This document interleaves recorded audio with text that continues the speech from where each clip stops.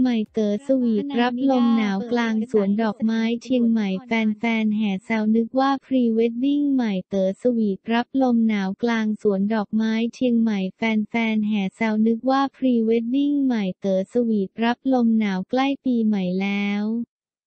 ขอพักผ่อนกับทริปต้อนรับลมหนาวเสียหน่อยสำหรับคู่รักหวานฉ่ำใหม่ดาวิกาโฮเน่และหนุ่มเต๋อฉันทวิชช์ธนะเสวีได้หาเวลาว่างไปสวีตหวานชมบรรยากาศธรรมชาติจ.เชียงใหม่ณ สถานที่ท่องเที่ยวต่างๆ และได้มีรูปภาพสวยละมุนเอามาฝาก FC ให้ได้ชมกันเช่นเคย แต่คราวนี้ไม่ได้มีเพียงรูปเดียวเท่านั้น แต่เพิ่มเติมมาด้วยรูปภาพคู่ที่หวานปานรูปภาพพรีเวดดิ้ง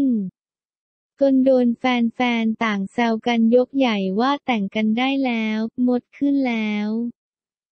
เต๋อใหม่ดินเนอร์หวานฉลองวันครบรอบชาวเน็ตจับพิรุธแหวนนิ้วนางใหม่ดาวิกาโชว์เซ็กซี่ปลื้มคนถูกใจเป็นล้านเผยเต๋อคิดถึงบุกเจอถึงกองละครทริปนี้ใหม่ดาวิกาโชว์ช็อตหวานหวาน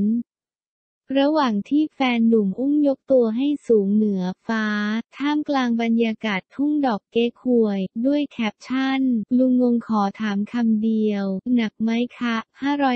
555 เครื่องหมายสี่เหลี่ยมน่ารักเท่าโลก กระทั่งเต๋อเข้ามาตอบใต้คอมเมนต์ว่า ไม่หนักเลยยะ